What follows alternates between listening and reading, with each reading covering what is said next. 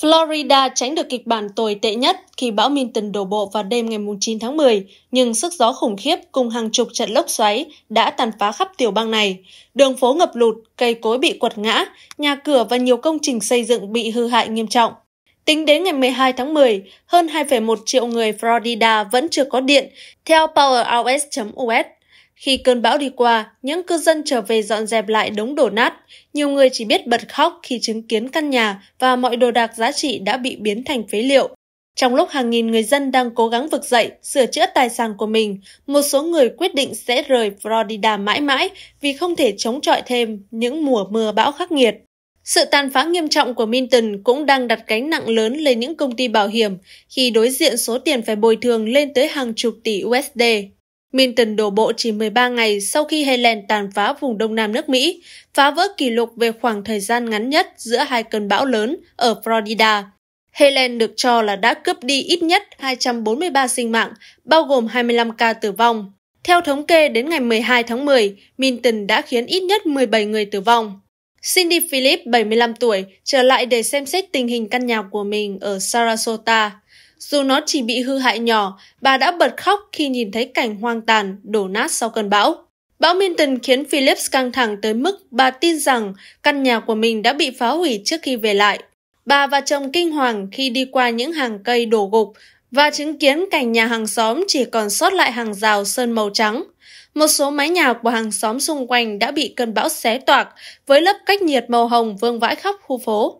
Ngôi nhà của Philip chỉ bị hư hại nhẹ nếu không tính đến mái hiền đã bị cơn bão Helen đã xé toạc vào tháng trước. Nhưng sự tấn công liên tục từ Helen và Minton không chỉ tàn phá tài sản bên ngoài mà đã đánh thẳng vào tâm lý của người phụ nữ 75 tuổi. Philip và chồng quyết định rời khỏi Florida vĩnh viễn trước mùa bão tiếp theo. Tôi đã gọi cho môi giới bất động sản rồi, chúng tôi đã sợ bão. Liệu chúng tôi còn giữ được nhà sau cơn bão tiếp theo không? Và sẽ thế nào nếu không còn nhà nữa? Bà nói với USA Today, Chúng tôi đã quá già để sống ở Florida, quá nhiều cơn bão, tôi không thể chịu được nữa rồi, Philip bày tỏ. Bà Phillips không phải người duy nhất quyết định rời đi sau sự tàn phá dữ dội của nhiều cơn bão trong những năm gần đây. Theo New York Times, ngoài gánh nặng và đau khổ mà chủ nhà phải chịu đựng, việc đo lường mức độ thiệt hại tài sản mà Minton gây ra cũng rất quan trọng về mặt kinh tế và chính trị ở Florida. Các chuyên gia lo ngại rằng một cuộc khủng hoảng trong thị trường bảo hiểm của tiểu bang có thể gây ra hậu quả vượt ra ngoài Florida. Nếu các công ty bảo hiểm không thể thanh toán các yêu cầu bồi thường bảo hiểm và chủ nhà vỡ nợ thế chấp, Quốc hội có thể phải đối mặt với áp lực cung cấp hỗ trợ. Và nếu các công ty bảo hiểm phải chịu tổn thất đủ lớn, phí bảo hiểm cho chủ nhà ở các khu vực khác của đất nước có thể tăng lên để ứng phó khi ngành này cố gắng củng cố vị thế tài chính của mình. Theo các nhà phân tích từ Fitch Rating, cơn bão Milton đổ bộ vào bang Florida, Mỹ vào hôm ngày 9 tháng 10, ước tính gây ra thiệt hại được bảo hiểm từ 30 đến 50 tỷ USD. Khi có nhiều cơn bão tấn công trong khoảng thời gian ngắn như Helen và Milton, nhu cầu về nhân công, vật liệu để sửa chữa và xây dựng lại tăng vọt. Điều này có thể làm tăng tổng thiệt hại được bảo hiểm ít nhất 20%. Moody's, công ty xếp hạng tín dụng, cho biết vào hôm 11 tháng 10 rằng sẽ mất nhiều tuần trước khi các công ty bảo hiểm có ước tính đáng tin cậy về thiệt hại do Milton, cơn bão thứ ba đổ bộ vào Florida trong năm nay gây ra. Theo Moody, cơn bão Debbie vào đầu tháng 8 đã gây ra thiệt hại ước tính 1,5 tỷ USD. Cơn bão Helen đổ bộ vào Tây Bắc Florida vào ngày 26 tháng 9 và gây ra sóng lớn dọc theo bờ biển phía Tây của bán đảo, ước tính đã gây thiệt hại 6 đến 14 tỷ USD. Phần lớn công ty bảo hiểm có khả năng chi trả thiệt hại do một cơn bão thông thường gây ra, song bất kỳ khoản chi trả nào vượt quá mức đó đều có thể nhanh chóng làm cạn kiệt nguồn dự trữ của họ đặc biệt trong trường hợp có nhiều cơn bão tấn công vào mùa này. Trong quá khứ, nhiều công ty bảo hiểm đã phá sản khi không thể trả khoản bồi thường khổng lồ sau bão. Cuộc khủng hoảng trên thị trường bảo hiểm và giá bảo hiểm nhà ở, bảo hiểm lũ lụt tăng vọt, sau đó khiến một số người dân trong khu vực gặp khó khăn trong việc giữ nhà cửa. Chính quyền địa phương tại bang Florida, Mỹ cảnh báo người dân đề phòng khi phát hiện nhiều hố sụt khổng lồ sau bão. Ngày 12 tháng 10, những cư dân Florida đã trở về nhà và bắt đầu dọn dẹp sau bão Milton. Hơn 2 triệu hộ gia đình và doanh nghiệp mất điện, những khu phố ngập trong đống đổ nát, ướt át và hôi thối. Một hố sụt khổng lồ đã xuất hiện ở quận Hillsborough, là một trong những hố sụt được phát hiện trên khắp tiểu bang sau cơn bão Milton. Văn phòng Cảnh sát trưởng quận khuyến cáo người dân cảnh giác khi phát hiện hố sụt lớn xuất hiện tại ngã tư đường Iris Mode và đường Ponpai. Nhà chức trách cũng cảnh báo rằng hố này có thể lan rộng hơn và cản trở các cư dân trở về nhà. Một hố sụt khác được báo cáo ở quận Polk xuất hiện vào khoảng 1 giờ sáng 11 tháng 10. Theo phóng viên Jordan Bowen của Post 30 News, người đăng tải đoạn video hố tử thần này đã nuốt chừng một chiếc xe bán tải và làm sập một căn nhà nơi nó xuất hiện. Mặc dù nước đã rút ở một số nơi, lũ lụt vẫn là vấn đề lớn ở những khu vực khác của Florida, bao gồm một số nơi ở quận Hillsborough ở bờ biển phía Tây. Trên khắp các vùng rộng lớn của tiểu bang, nhiều trường học vẫn đóng cửa và xăng đang thiếu hụt. Những hàng xe ô tô xếp hàng tại một số trạm dịch vụ vẫn còn đủ xăng và điện để bơm. Theo Giám đốc Cơ quan Quản lý Tình trạng Khẩn cấp Liên bang FEMA Danny Criswell, thiệt hại nặng nề nhất đến từ hơn 30 trận lốc xoáy mà cơn bão lần này gây ra. Khi nghĩ đến thiệt hại do bão, người ta thường liên tưởng đến gió và mưa lũ, nhưng Minton là lời nhắc nhở rõ ràng về mối đe dọa mà lốc xoáy đem đến, Criswell nói. Criswell phát biểu trong cuộc họp báo sau khi đến thăm quận St. Lucie ở bờ biển phía đông Florida, nơi một trận lốc xoáy đã giết chết ít nhất 6 người, khiến hàng chục ngôi nhà trong khu vực bị phá hủy hoàn toàn. Sau khi siêu bão Milton lao nhanh về phía tây bang Florida, người dân đã chứng kiến cảnh cây cối bật gốc nằm ngổn ngang giữa đường, mái nhà bị gió thổi bay, đường phố biến thành sông sau những trận mưa như chút nước. Hàng triệu dân mạng khắp thế giới đã theo dõi qua mạng xã hội để biết được tình hình từ những người ở lại. Không lựa chọn đi tránh bão hoặc không đủ điều kiện rời đi, những người dùng TikTok này đã ở lại và đăng loạt video về cảnh nhà cửa ngập lụt, khu phố của họ bị phá hủy. Giống như những cơn bão trước, nhiều cư dân Florida đã ở lại vì cảm thấy nhà của họ có thể chống chọi được cơn bão hoặc vì công việc hay không có xăng và vé máy bay quá đắt. Trong cơn bão này, họ đã livestream về trải nghiệm của mình từ một ứng dụng dường như được thiết kế riêng để nắm bắt tình hình hỗn loạn đang diễn ra. Logan Durance, 29 tuổi, ở quận Polk, sinh ra và lớn lên ở Florida và đã khá quen thuộc với sức tàn phá tiềm tàng của những cơn bão. Anh cùng gia đình có tính đến việc di tản, nhưng vì nhà nằm trong đất liền, cách bờ biển khoảng 96 km, họ nghĩ rằng có thể tránh được sức tàn phá của Minton. Durance cũng có lịch làm việc tại một nhà máy điện khí đốt tự nhiên trong khu vực nên chọn ở lại. Còn 24 giờ nữa cơn bão này mới tới, nhưng tôi đang tập trung vào công việc rồi.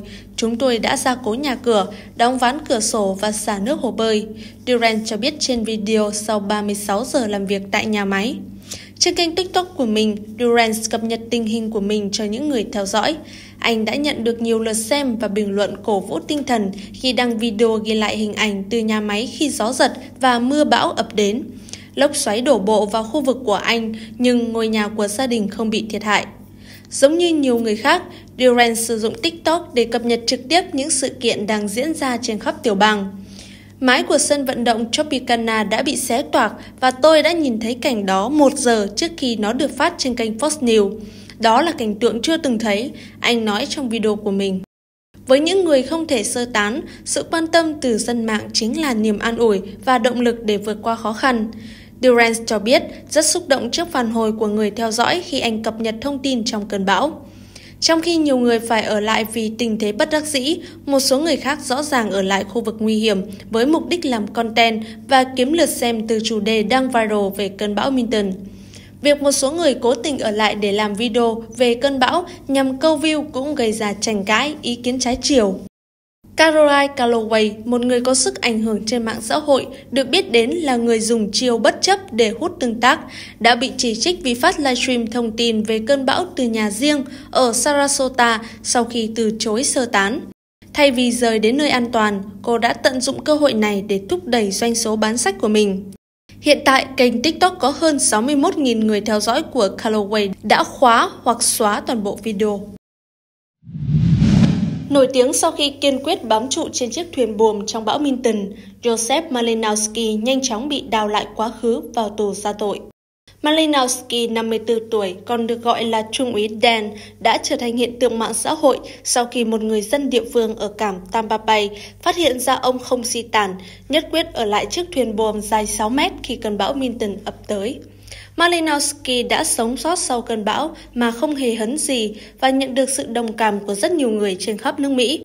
Một chương trình gây quỹ giúp đỡ người đàn ông 54 tuổi này do một sinh viên đại học Tampa lập ra, thậm chí thu được hơn 40.000 USD chỉ sau một đêm. Streamer Adin Ross cũng ngỏ ý sẽ tặng Trung úy Dan tiền để mua một chiếc thuyền mới và hợp đồng livestream trên nền tảng Kick. Tuy nhiên, lời đề nghị này nhanh chóng bị xem xét lại khi quá khứ phạm tội đen tối của Malinowski với hàng chục lần bị bắt giữ từ năm 2006 bị phơi bày.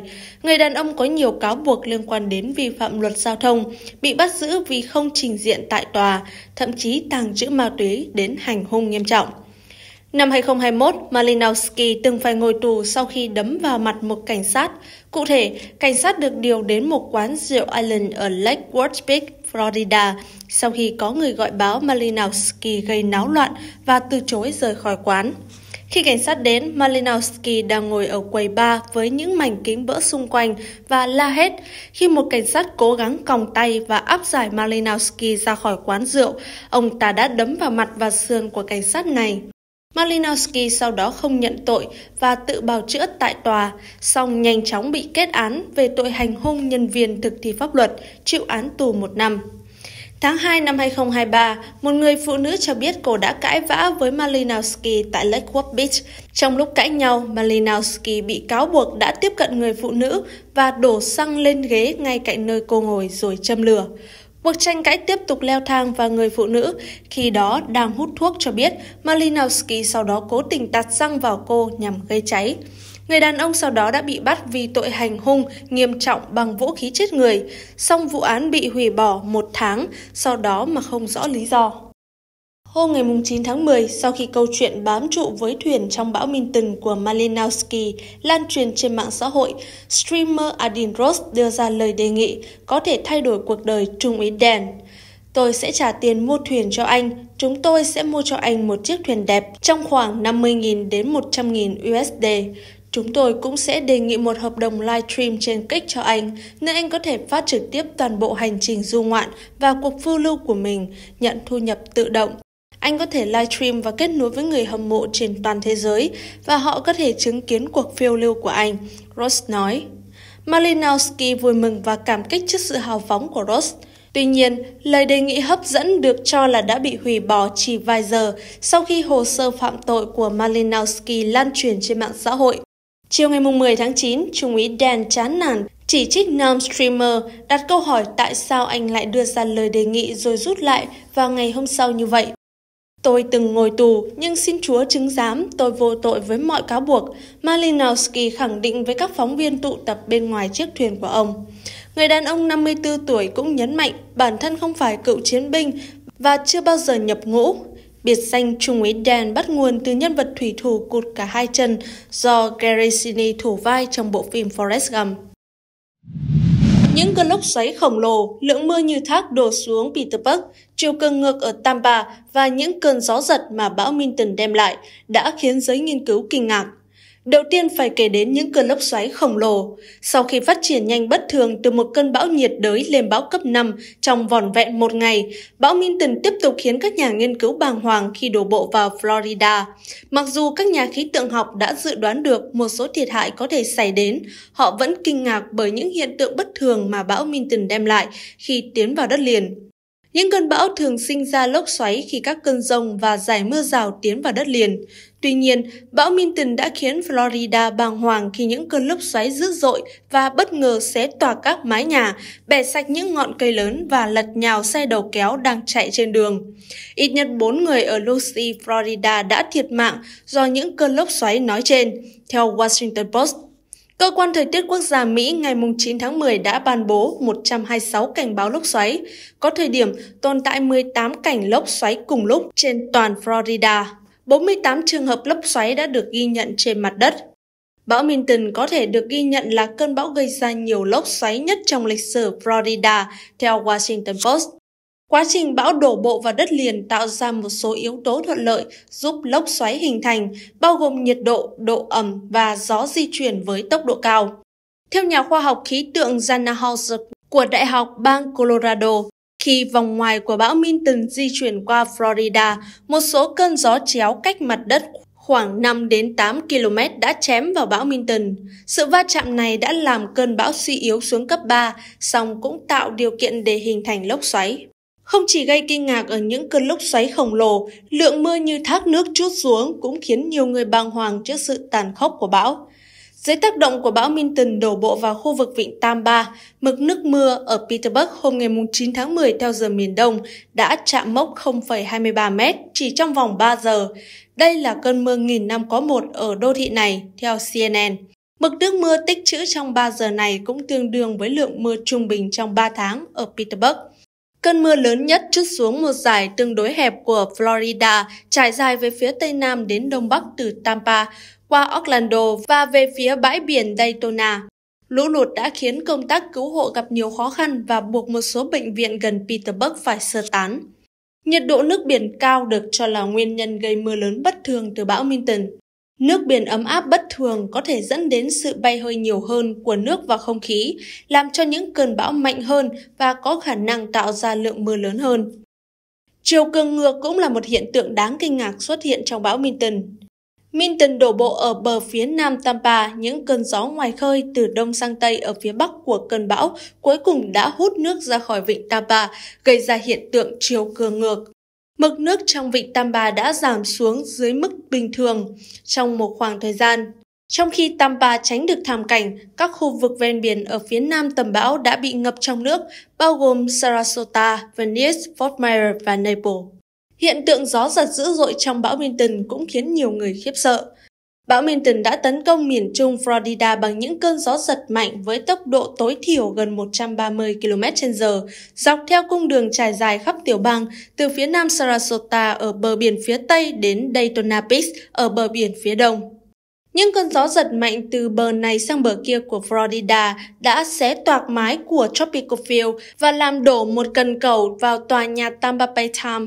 Cây đổ trên khắp tiểu bang đã khiến hơn 3 triệu cư dân sống trong cảnh mất điện. Điều khiến các nhà khí tượng học ngạc nhiên là hiện tượng gió giật mạnh nhất ở phía tây và tây bắc của mắt bão. Gió bão thường mạnh nhất ở phía đông, nơi chúng được tăng cường bởi chuyển động về phía trước của cơn bão. Theo Reuters, ngày 11 tháng 10, bang Florida đã dọn dẹp cây cối và đường dây điện đứt gãy sau khi cơn bão Milton tấn công tiểu bang này, khiến ít nhất 16 người thiệt mạng.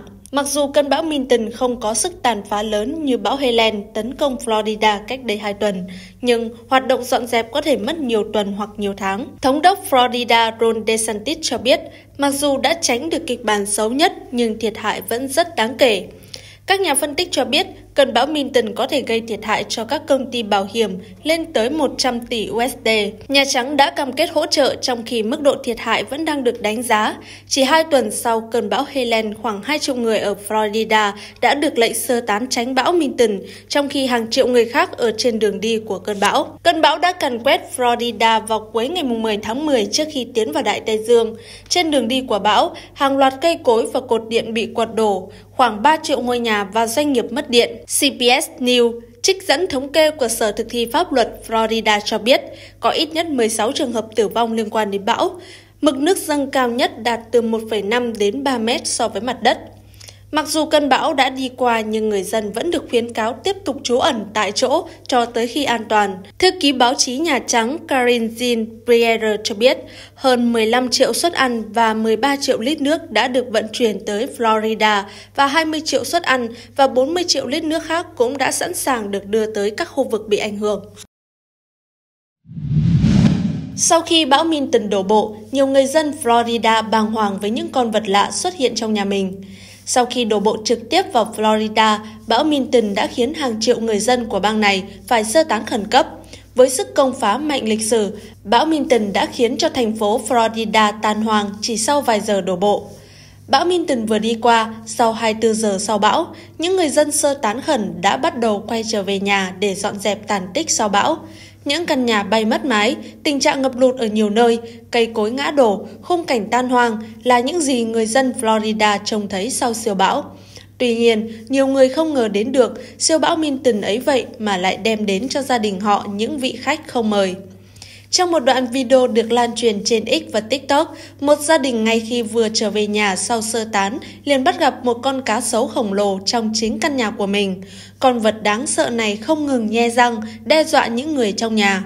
Ủy ban Bảo tồn cá và động vật hoang dã Florida trước đó đã ra cảnh báo rằng các động vật hoang dã như cá sấu, gấu, lợn biển có thể phải di rời do ảnh hưởng của thiên tai và chúng hoàn toàn có thể lựa chọn nơi cư trú của con người. Các chuyên gia cũng cảnh báo về việc cá sấu có thể xuất hiện trong nước lũ, yêu cầu các hộ gia đình cẩn thận. Sẽ có nhiều loài động vật bị di rời tránh bão như con người mà mọi người phải chú ý, bao gồm cả rắn trên mặt đất. Chúng có thể dễ bị bỏ sót khi nằm giữa những cành cây gãy trên mặt đất. Mọi người cần phải thực sự cẩn thận khi di chuyển trong khu vực sau cơn bão, một chuyên gia cho biết.